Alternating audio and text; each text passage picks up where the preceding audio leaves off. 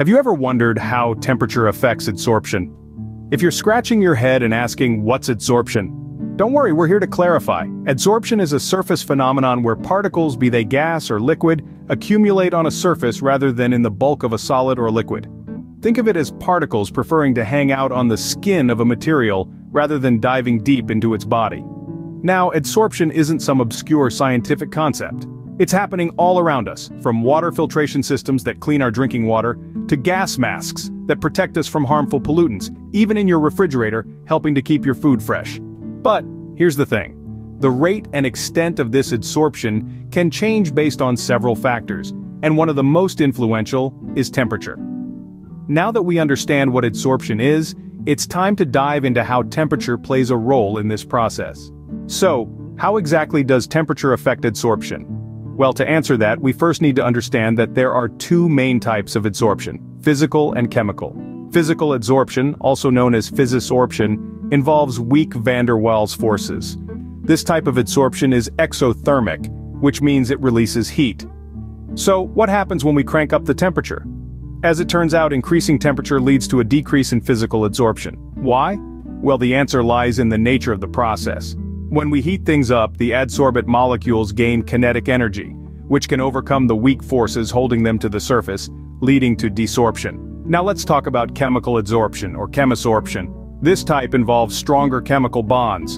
In chemisorption, an initial increase in temperature can actually promote adsorption. You see, there's an energy barrier for the reaction to occur, and a little heat can provide the necessary push to overcome this barrier. However, it's not a one-size-fits-all solution. After reaching a certain point, further increases in temperature start to decrease adsorption. This happens because excessive heat can break the chemical bonds between the adsorbate and the adsorbent.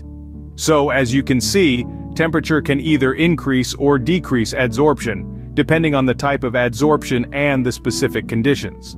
Understanding how temperature affects adsorption isn't just theoretical, it has real-world implications. This knowledge underpins key processes we rely on daily, such as water filtration and air purification. For instance, the efficiency of activated carbon in water filters is largely dependent on temperature. At higher temperatures, more contaminants are adsorbed, providing cleaner water. Similarly, the effectiveness of air purifiers in trapping pollutants and allergens is also temperature-dependent.